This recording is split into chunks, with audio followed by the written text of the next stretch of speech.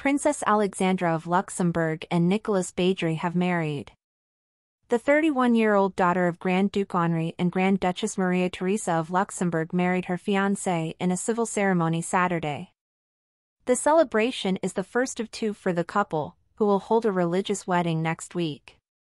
The bride and groom arrived at 9 a.m. local time at Place Guillaume in the heart of the capital, where the public had been invited to welcome the couple. The ceremony began at 9.30 a.m. at Luxembourg City Hall, where Princess Alexandra and Nicholas, 33, were legally married in front of their families.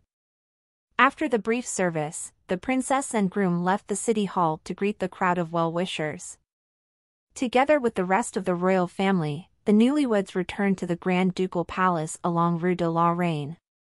In the evening, a private reception will be held at the royal palace, but the festivities will not be over for the couple, who will celebrate their union at a mass next Saturday. The court of the Grand Duchy of Luxembourg announced Princess Alexandra's engagement in November 2022 and confirmed a few weeks later that she would marry in two ceremonies this spring.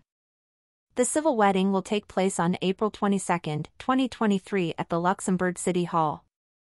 The religious wedding will take place on April 29, 2023 at the St. Trophyme Church in Bormes-les-Mimosas, the court said in a statement. The two families join in the happiness of the bride and groom by surrounding them with their affection, it said. Alexandra is the only daughter of Grand Duke Henri and Grand Duchess Marie Therese. She is currently seventh in line to the throne, behind her older brother, Grand Duke Guillaume, her two-year-old son, Prince Charles, her newborn son, Prince Francis, her older brother, Prince Felix, her eight-year-old daughter, Princess Amalia, and her six-year-old son, Prince Liam. Behind Alexandra, her younger brother, Prince Sebastian. The courtiers shared a bit of Nicholas' story when they announced his engagement to Alexandra in the fall.